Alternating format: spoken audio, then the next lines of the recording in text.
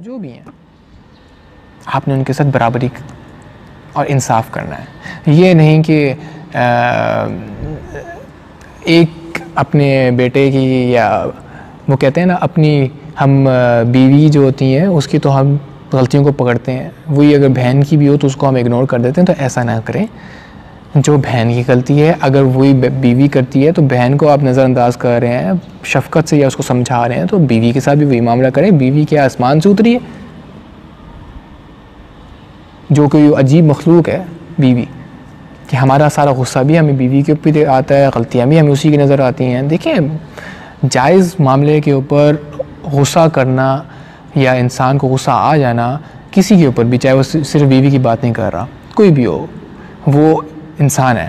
جائز بات کے اوپر آنا چاہیے انسان کو غصہ۔ یہ بھی نہیں کہ جائز بات پہ بھی انسان کو غصہ نہیں آ رہا۔ غصہ بھی تمیز کے اندر تمیز کے دائرے میں رہ کے بنا غصہ کرے۔